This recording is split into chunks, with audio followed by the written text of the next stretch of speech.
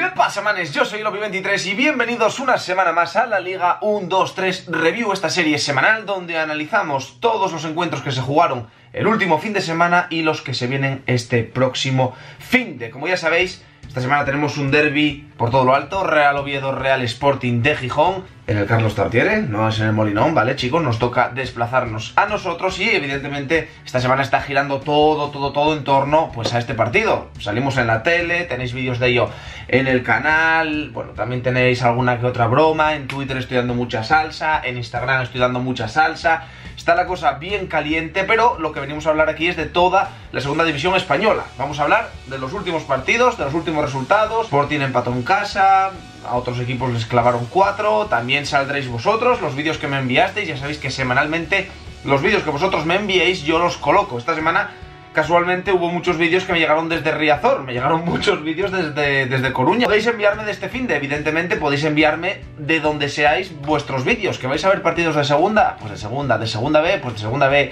¿Que vais a ver partidos en Argentina? Pues de Argentina. O si los vais a ver en Colombia, de Colombia. O en Venezuela, de donde seáis. Me enviáis un vídeo saludando y tal. Porque claro, algunos sí que me envío vídeos, pero lo primero, se ven ultra mal Segundo, se oyen peor y tercero es a lo mejor enfocando pues a un jugador que está calentando en la banda. Hermano, cuéntame algo, salúdame, dime algo, no sé, yo, cuéntame quién lleve tu Twitter o algo, spameate, haz algo, ¿sabes? No me grabes ahí un jugador calentando la banda, que eso no tiene mucha chicha. Entonces, bueno, ya sabéis, nos podéis enviar el email que os dejo por aquí abajo. Eh, bueno, ya si os apetece, pues eso, 15, 20 segundinos, me saludáis, decís cualquier historia, lo que queráis, y yo os meto en el próximo episodio. Sin más, vamos a empezar a analizar rápidamente los resultados del fin de pasado para meternos en materia con este y que, bueno, la clasificación está que arde. Vamos rápido, rápido, rápido con el tema. Empezamos. Cádiz, Reus, victoria del Cádiz en casa. Bueno, el Reus está en zona de descenso, el Cádiz con esa victoria se colocan novenos con 17 puntos, llevan una racha bastante buena de los últimos tres partidos, tres victorias. La verdad que el Cádiz, bueno, engrasó un poco ahí la máquina y parece ser que se está volviendo a lanzar hacia arriba. Ya me extrañaba a mí que estuviese el Cádiz esta temporada también tampoco tirando mucho, el año pasado hicieron muy buen año y bueno, ya poco a poco parece que van consiguiendo arrancar. Luego Alcorcón, victoria del Alcorcón fuera de casa, ¿vale? O sea, yo siempre lo digo, ya sabéis que soy, me estoy volviendo incluso bastante fan del Alcorcón por el hecho de que en casa me parece una auténtica máquina, pero es que ahora ya hasta fuera de casa, o sea, el Alcorcón es ahora mismo segundo, empatado puntos con el Granada que va primero, o sea, de locos. Está la cosa de locos, lleva de los últimos cinco partidos cuatro victorias y una derrota, números muy brutos, o sea, si de cada 15 sumas 12 estás en primera, pero vamos, del tirón y lo está haciendo muy bien eso el, el Alcorcón. Cierto es que ganó a bueno, nuestros amigos del Lugo, que con esa derrota pues están con 13 puntos. Tampoco es que sea una cosa de locos, estamos el Sporting 2 por encima, ¿eh? O sea, 2 por encima de los 13 que marca el descenso el Reus con 13. O sea, ya me empiezo a calentar, es que no puedo ver la clasificación, macho, su madre. Bueno, seguimos, Extremadura-Osasuna, partido que acabó 2 a 3 que Rubén García, por lo que leí, hizo un partidazo de la hostia, si no me equivoco. Si no lo leí mal, Rubén García hizo un partidazo increíble. Y el Extremadura, pues que se complica un poco, sigue ahí abajo con 9 puntos, 3 derrotas en los 3 últimos partidos. Mm, ¿Puede ser que hayan echado esta semana el entrenador del Extremadura o lo estoy flipando? Bueno, no sé, me suena. Y aparte, bueno, los Osasuna con un jugador menos. Con esa victoria, pues Osasuna eh, octavo, de los últimos 3, dos victorias, un empate. Y bueno, pues Extremadura, Osasuna es octavo y Extremadura lo que hablábamos, eh, zona de descenso. Elche Las Palmas, empate a ceros. El Elche arranca un empate en casa contra Las Palmas, que está sexto ahora mismo con 21 puntos, y el Elche pues está décimo quinto con 15. O sea, está empatado a puntos con el Sporting. Bueno, resultado que a ver, Las Palmas tiene buen equipo, ¿eh? Pasa que claro, el Elche en casa sí que, sí que tiene que empujar. Pero bueno, un buen resultado. Deportivo de La Coruña 4, Real Oviedo 0. El resultado más tocho de la jornada. La verdad que no os voy a negar que, que a ver, que fue un resultado que sinceramente pues me, sedujo bastante. Un resultado que digamos que me, provocó una reacción de, alegría bastante intensa. Pues, la verdad que sí. Y tenéis bastantes vídeos. Voy a poneros ya los vídeos. Venga, van vídeos adentro. Y voy a dar las gracias a Cristian Bravo, que me envió un vídeo a Andrupi, que me envió otro, y a Corzo y Mitch, que me enviaron otros, ¿vale? O sea, vamos a meternos ahí todos, placa, del tirón.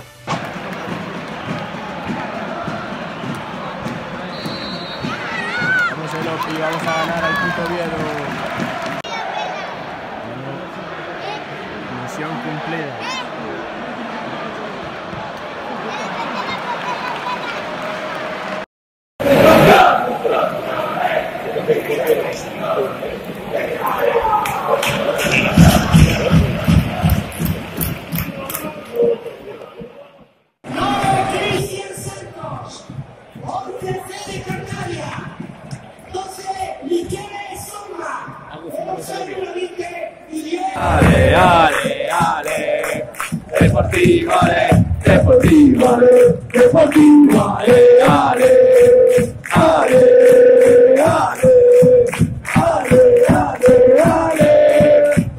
deportiva, ale, deportiva,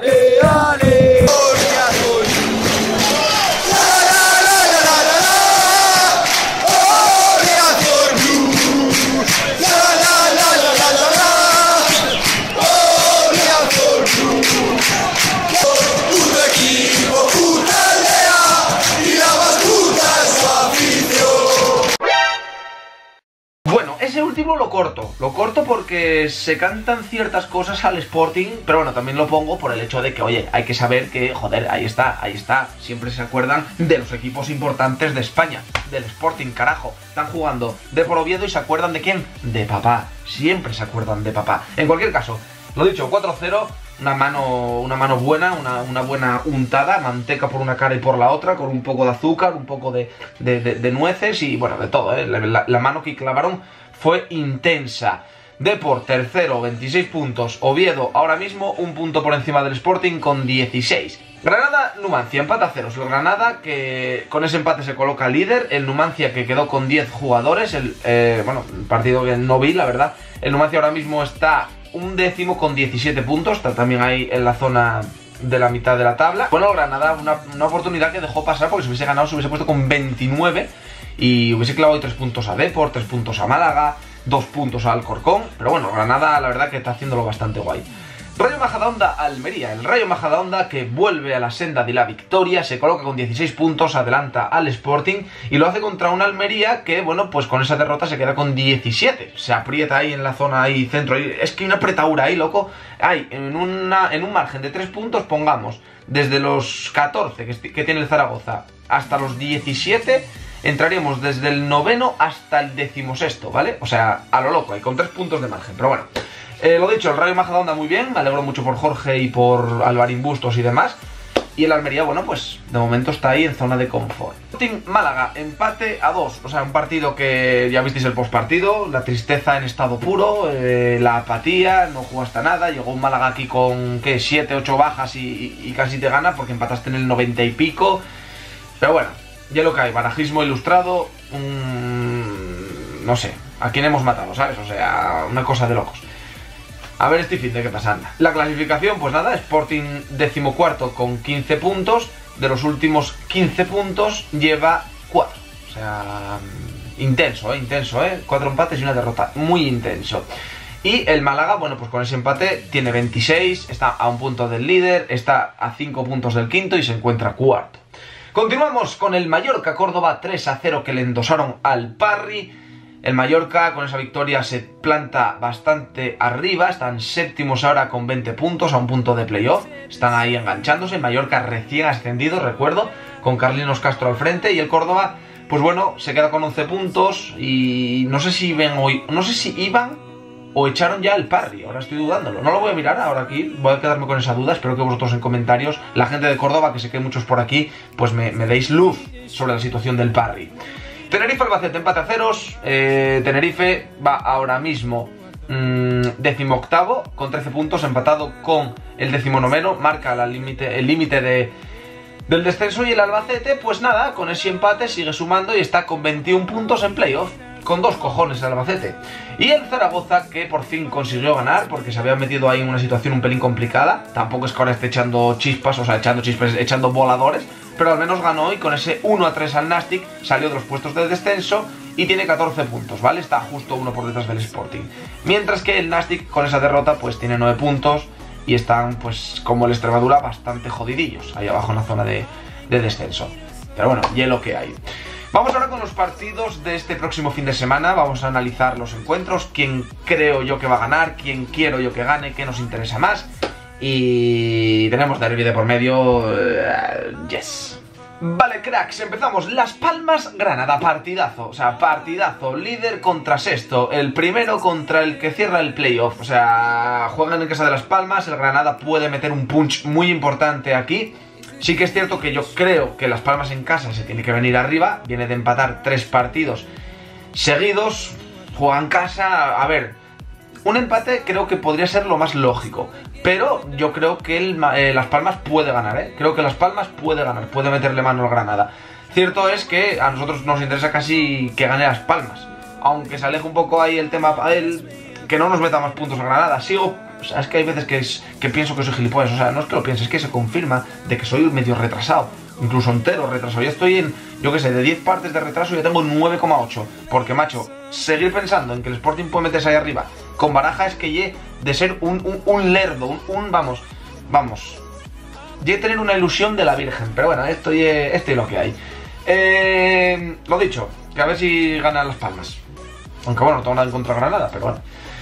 Málaga, Nastic. Aquí sí que lo tengo claro. Nastic eh, último, Málaga en casa. Yo creo que lo lógico y lo que todo el mundo cree que va a suceder y que el Málaga debería de hacer sería ganar. Porque, que vamos, si te pinta la cara el Nastic en casa, hombre, si fueses el Sporting lo entendería. Pero siendo el Málaga que en principio está haciendo buena temporada. Osasuna, Tenerife. Buen partido también. Osasuna que está eh, lo que hablamos, octavo, y Tenerife, que se encuentra pues ahora mismo al límite del descenso, con 13 puntos. ¿Qué pasa? Que hay 6 puntos entre ellos, o sea, si el Tenerife gana, le deja a un partido, mientras que si Osasuna gana, se mete casi, casi, casi en playoff. Juegan en casa de Osasuna, lo lógico me dice que será que gane el Osasuna, pero voy a confiar en Nano Mesa y voy a romper una lanza a favor del Tenerife. Creo que esta semana el Tenerife va a ganar al, al Osasuna. Yo creo que, creo que va a estar bien. Me interesa un poco más ese resultado, tal vez, en principio. Aunque igual nos meta a nosotros en descenso, pero... Eh, continuamos. Reus Extremadura. Bueno, partido por la zona baja, Extremadura 9 puntos, Reus 13 puntos. A ver, mmm, si el Extremadura gana no le sirve para salir de- del descenso, pero sí que le sirve para recortarle puntos ahora mismo un rival directo. Juegan en casa de Reus. Hombre, a ver, a nosotros que nos interesa, pues casi que, que gane el Extremadura. ¿Por qué? Pues porque sigue el Reus ahí abajo metido. ¿Vale? Y Extremadura tampoco nos achucha mucho. También si gana Reus, pues bueno, metes al Extremadura más abajo aún y tú te puedes enganchar ahí abajo también. Hombre, lo lógico sería que ganas el Reus, pero vamos a ir con el Extremadura de Alex Barrera, a ver si tiene suerte. Zaragoza, Mallorca, sábado a las 8 y media de la tarde, muy buen partido también. Zaragoza, que como hablábamos, está ahora mismo con 14 puntos.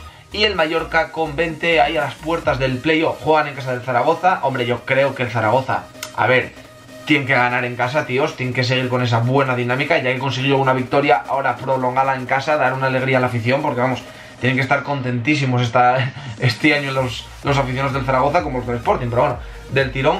Y bueno, el Mallorca por otra parte, si gana se va a meter arriba. Yo creo que lo suyo sería que ganase el, el Zaragoza.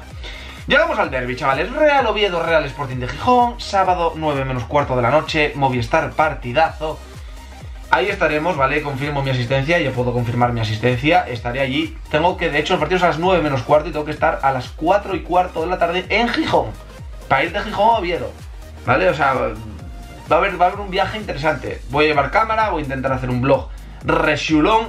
Y aquí que nos interesa, evidentemente, ganar. O sea, la gente dice, no, porque si perdemos, bueno, China Baraja me la pela. Yo quiero ganar al Oviedo, quiero ganar mañana, como sea. Necesitamos esos tres puntos como el oxígeno. Necesitamos ganar fuera de casa, necesitamos puntuar de tres y necesitamos ganar al Oviedo, que el año pasado, en su puta casa, nos pintaron la cara con dos goles de un lateral, que en su vida va a marcar más goles como esos, pero nos los plantó a nosotros en toda la boca. O sea que Baraja, cuando estés viendo este vídeo, si es que lo ves, no salgas cagón, porque los mil que vamos a estar allí en la grada, rompiéndonos los cojones, no queremos que salgas cagón, ¿me entiendes?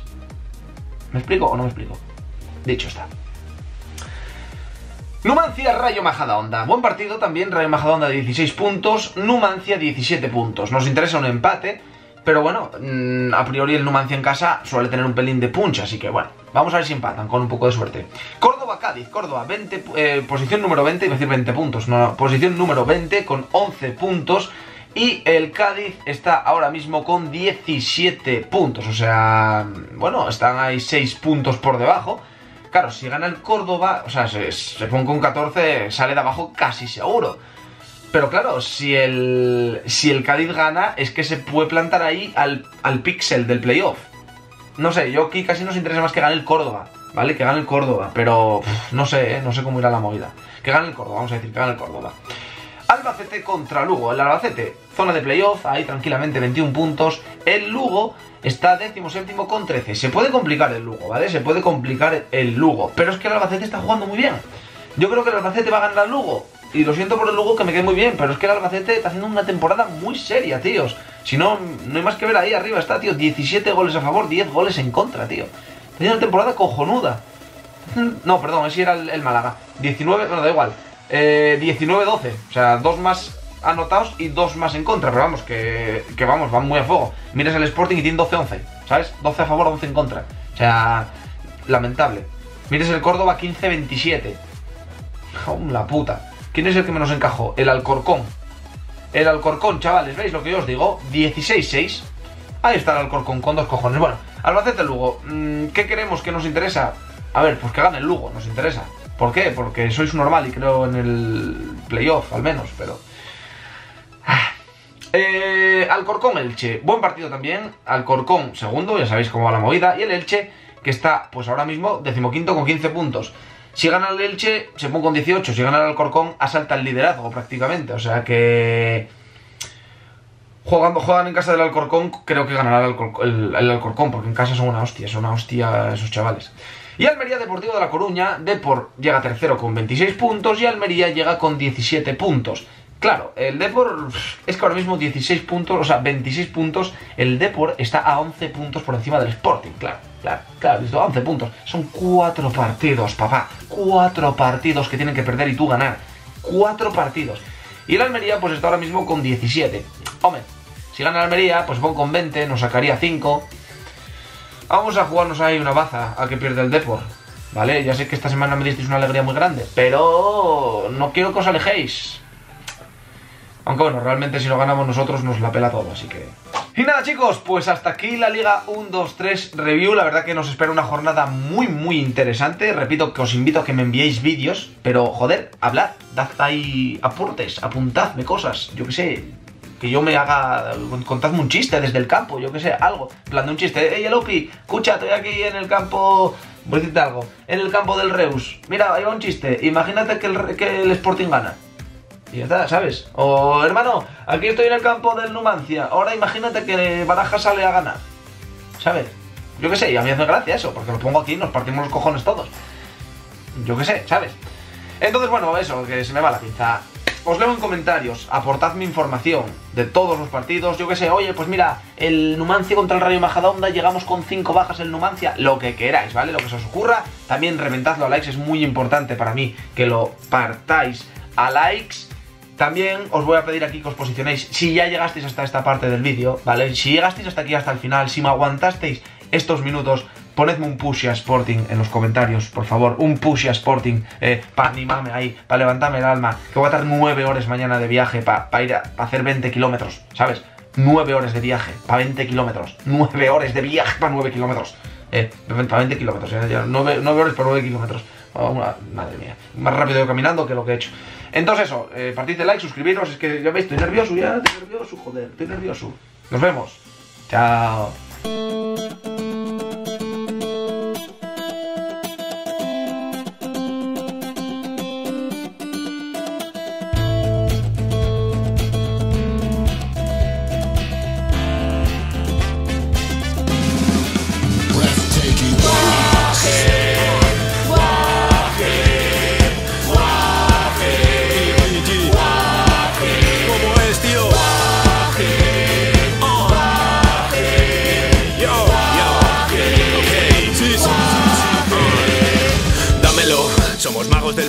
Retando el campo contra barro y penuria. De mí se cuentan historias donde hay lujuria El FIFA está en mi mano, sí, pero en el corazón Asturias. Siente el tacto del estilo campeón Cantando a Kirio, reventando el campo fieles en el molinón. All in, all in, siente la eterna pasión El juego al Sporting me la suda si me falta Dios. ¿Cómo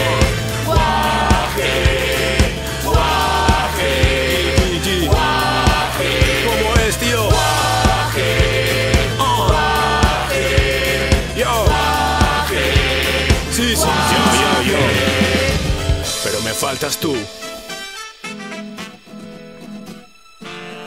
Eterno te llora Gijón. Pero me faltas tú, eterno te llora Gijón, unido por tu fuego, humanidad y profesión, porque no ser uno más del montón especial y amado, esto va por ti amigo, eterno preciado.